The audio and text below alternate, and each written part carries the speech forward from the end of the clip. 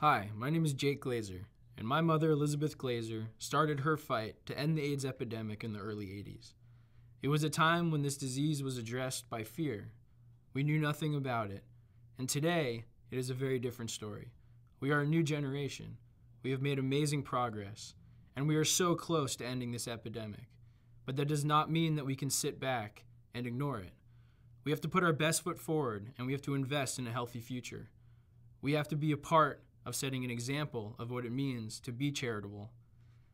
Join myself, the Elizabeth Glaser Pediatric AIDS Foundation, and the One Campaign in creating an AIDS free generation. Join me because I'm in it to end it.